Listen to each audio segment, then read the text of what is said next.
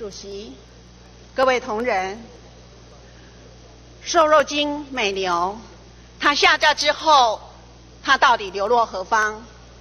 马政府告诉我们，国人健康第一，没有时间表，也没有立场。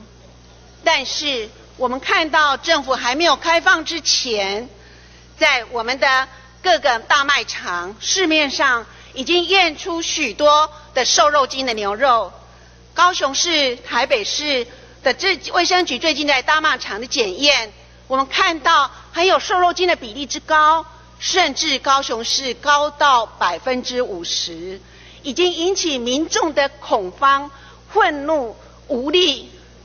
爸爸妈妈真的不知道该为小朋友怎样准备食物。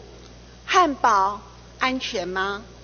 早餐安全吗？水饺安全吗？包子安全吗？牛肉面安全吗？便当安全吗？孩子在当兵，孩子在军中所吃的食物安全吗？父母在老人院，老人院所安所食的食物安全吗？孩子在学校里面的营养午餐安全吗？真的，我们所有的国人陷入到一阵的恐慌，真的不知道我们食品的安全到底在哪里。在两千零九年的时候，我们制定了所有的瘦肉精不准进口，我们让我们的农业往健康、有机的、环保的这个方向开始发展。可是。今天为什么马政府在没有经过这些的法案修改之前，马上要去谈把这个所谓的瘦肉精的牛肉要开放？所以呢，在今天呢，在市场上到处检验出来的这些的牛肉，请问你下架之后流落何方？